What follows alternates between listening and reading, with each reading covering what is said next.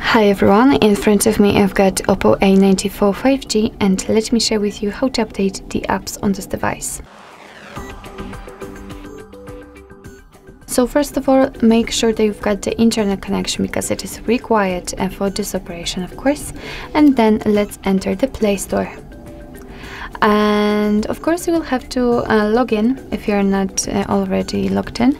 And then just tap on the circle which is basically your account. Now let's tap on manage apps and device and tap on manage. As you can see here we've got the full list of all uh, installed apps on our device.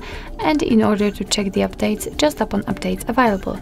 And as you can see uh, again we've got another another list.